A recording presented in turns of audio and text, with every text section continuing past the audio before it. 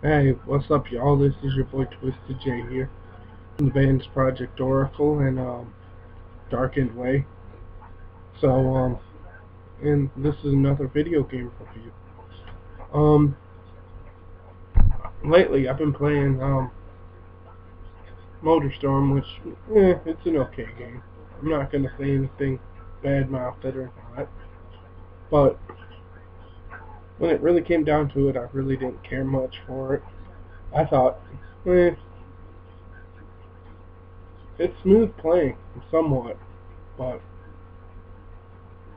when it really comes down to it, compared to the other racing games and stuff like that, it's kind of cartoony, kind of fake, but it's a lot of fun, so I think that's the only thing I liked about it was the fun factor of it. It wasn't really anything, so peace, and I'm out.